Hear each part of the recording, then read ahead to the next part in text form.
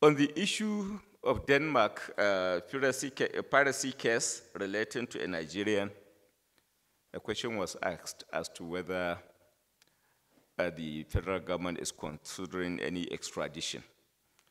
Let me state clearly that the extradition as an issue is a function of law, a function of request, and indeed not a suo motu affair.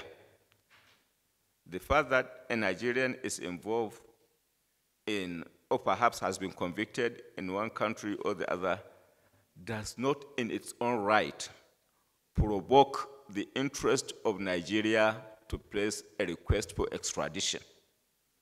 It is indeed on the basis of the law. And uh, where an offense is committed elsewhere, you have to bear your cross in terms of ensuring that the law of the country where you indeed operated in breach comes to bear on you.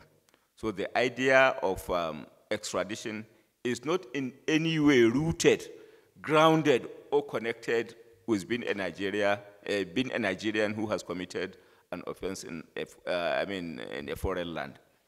So how does the issue of contra, uh, extradition comes into play?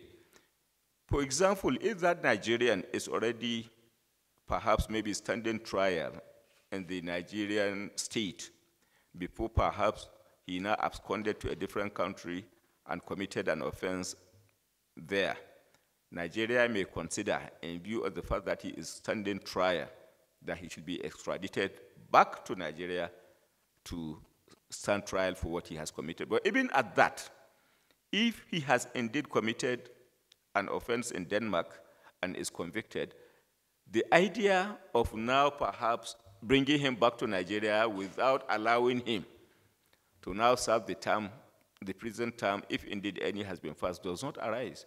So I'm sorry to say that the Nigerian that has committed an offense in Denmark will remain there to now serve his prison term. Perhaps maybe if there exists uh, an understanding, international understanding by way of an agreement between Nigeria and Denmark as to the exchange of prisoner.